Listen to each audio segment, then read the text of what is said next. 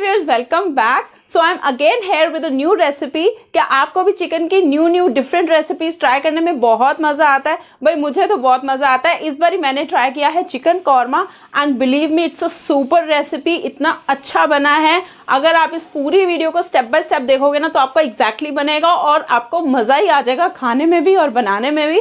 तो चलिए फिर जल्दी से इसकी वीडियो चेक करते हैं। So before starting chicken korma recipe हमने कुछ होल स्पाइसेस का यूज़ करना है, जो कि मैं आपको प्लेट में डाल के बता रही हूँ, जिसके अंदर मैंने थोड़ी सी काली मिर्ची ली है, जीरा, मोटी इलायची, दालचीनी साबुत लाल मिर्ची और दो लौंग, और अभी मैंने जो है कढ़ाई को गैस पे रख दिया है। इसके अंदर मैंने डाला है थोड़ा सा ऑयल और साथ ही में बटर जो भी मसाले हमने प्लेट में डाले थे ना, वो इसके अंदर हमने दो मिनट के लिए भून देने हैं। तो जैसे थोड़ा सा आपको लगेगा ना, ऐसे अरोमा सा आने लगा है, फिर इसके अंदर जाएँगे लंबे कटे हुए प्याज। ये दो मीडियम साइज़ के प्याज हैं। इन प्याज़ों को हमने थोड़ा सा कैरमलाइज होने देना है। दैट मीन्स इसको पूरा प्रॉपरली हमने गोल्डन ब्राउन करना है। जब ये बहुत अच्छे से गोल्डन ब्राउन हो जाएँगे तो इसके अंदर जाएगा गार्लिक ये सेवन टू एट गार्लिक्स है जिनको मैंने क्रश कर लिया है। और साथ ही मैं यूज़ कर रही हूँ क्रश्ड जिंजर ये अच्छा खासा आप क्वांटिटी यूज़ कर सकते हो। जिंजर गार्लिक इनफैक्ट आप जिंजर गार्लिक का पेस्ट भी यूज़ कर सकते हो। और जैसे ही जिंजर गार्लिक थोड़ा सा भुन जाएगा, इसके अंदर जाएगा पूरा एक कप दही।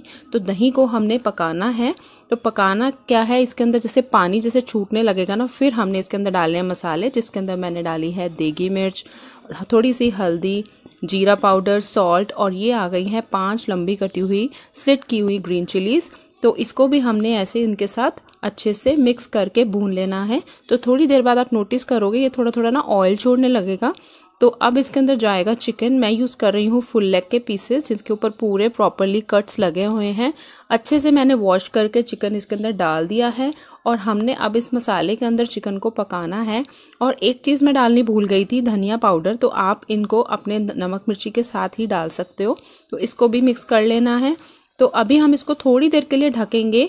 तो ढकने के बाद आप टेन मिनट्स के बाद देखोगे चिकन अपने आप पानी रिलीज़ करने लगेगा.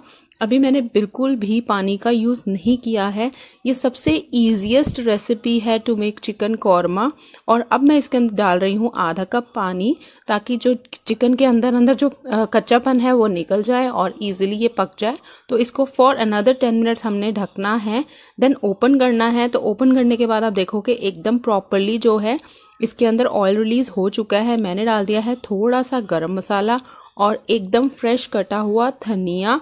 और इसको हमने ढकना है पाँच मिनट के लिए ताकि सारा जो गरम मसाले का अरोमा है चिकन में आ जाए।